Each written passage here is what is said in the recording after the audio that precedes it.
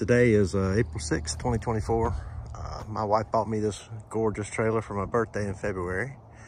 It's a 20 foot Spartan, uh, enclosed V-nose, extra tall. I believe it is a, uh, I know it's 20 foot. It's either seven and a half, oh, it's eight and a half wide. So gorgeous black. It's just like a freaking mirror. We added chrome center caps. Sun's pretty bright. Put a do not hire sticker on it. Added some rigid lights up here on both sides. They have a small uh, illumination with the running light and then when you put it in reverse, those will come on. Nice clear tail lights. Really sexy at night. Again, chrome, chrome caps. I've been working on it for about a month. I added an exterior light here and another one here, which I'll show you better in a minute. So I added a electric tongue jack, but for now I'm just gonna unhook the power from the truck because I don't want anybody to think that it's hooked up. So it's nothing's hooked up. So we'll go inside.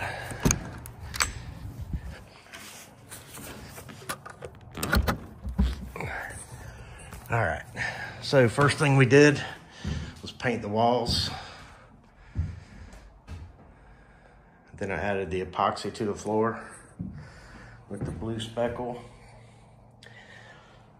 I added the E-track on the floor, both sides, and then the walls. Then we get to the good stuff. So we got E-track all the way around. Got a, a convex mirror for um, loading by myself. Got my spare tire. Got my floor jack. Jack handles here. Fire extinguisher. First aid kit. This is a set of 30 foot jumper cables. Um, spare center cap. Tire. Got an Optima uh, 12 volt battery. Warn 10,000 pound winch on a receiver so it can be removed. Air tank. Got a Viair compressor. Toolbox and uh, road triangles.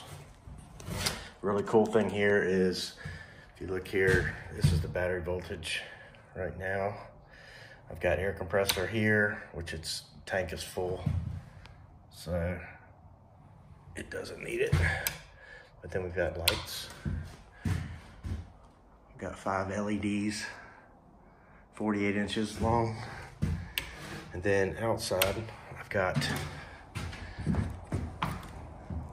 these guys, front and back. All this is running off this one battery. So winch is wireless or wired, either one.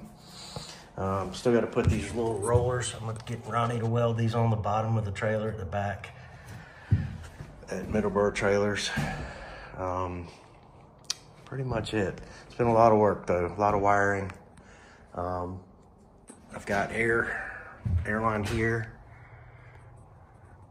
And then I also ran air behind this panel up and over. Tied it into some pegs and brought it all the way down. And then brought it behind that panel. I've got an air block here. And down here I've got another, it's 150 amp uh, quick connect. It's saying the power's on. So with that 30 foot of jumper cables, I can jump from here another 30 feet, which is pretty cool. So I've got airline in the tank, in the um, toolbox, which is a 30 foot, I think, coiled airline um, air chuck, all that fun stuff. All my E-Track stuff here. Um, I did do a relay for the um, air compressor. I did a, kind of like a isolation block for the ground so I can turn the power off. So nothing off the truck is affected by this system at all. And this system's not affected by the truck but I do have a solar geyser on here. So it's, it's um, of course keeping my batteries charged. Battery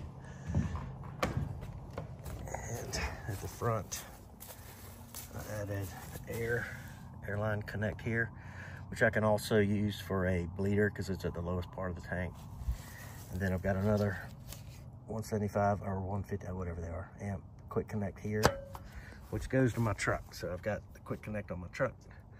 I got an airline there, so I can tie the truck and the trailer together and help whichever one out that needs helping, I guess. Um, it does have a screen door, which is really nice. And I like the fact that it doesn't have a roof vent. So, anyway, hope you like it. I love it. It's a really cool trailer.